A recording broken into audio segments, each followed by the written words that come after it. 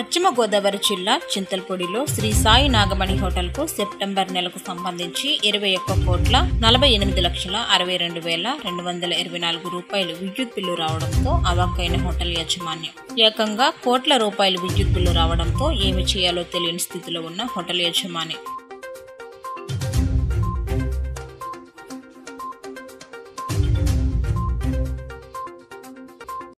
చిన్న హోటల్ అండి. మేము నుంచి హోటల్ నడుపుతున్నామండి మాకు ఇప్పటి వరకు ఎప్పుడు ఐదు వందలు ఆరు వందలు తప్పితే మాకు ఎక్కువ బిల్లు రాలేదండి. ఆగస్టు నెలలో వచ్చేసి నలభై ఏడు నలభై ఏడు వేలు చిల్లర వచ్చానండి. అయితే మేము విద్యుత్ శాఖ అధికారుల దగ్గరికి వెళ్ళి మాకు ఇలా బిల్లు వచ్చిందని చెప్తే వాళ్ళు టీవీ తీయించి అవన్నీ చేయించి ఇక్కడ మీటర్ మేట మార్చడానికి పంపించారండి. మేట మార్చిన తర్వాత సెప్టెంబర్ నెల వచ్చేసి మాకు ఇరవై ఒక్క కోట్లలో వచ్చిందండి బిల్లు. మాలాంటి సామాన్యులకి ఇలా బిల్లు రావడం అనేది మాకైతే చాలా ఇదిగా ఉందండి మీరు విద్యుత్ శాఖ అధికారులు త్వరగా స్పందించి మాకు న్యాయం చేయాలని మేము కోరుకుంటున్నాము